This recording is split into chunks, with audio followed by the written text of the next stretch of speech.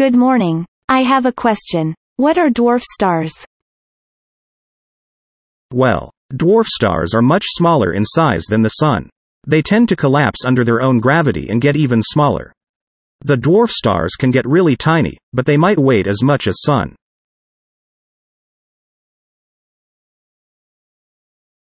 Dwarf star is a term used to describe stars that are smaller than the Sun.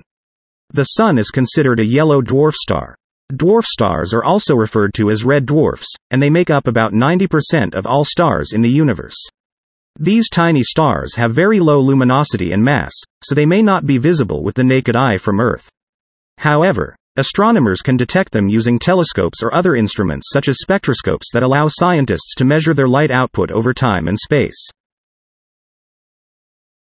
Dwarf stars are small and cool, they have low luminosity. They are found in the halo of the Milky Way. A dwarf star is an object that has mass less than one tenth of that of the Sun or less than one tenth as massive as Jupiter.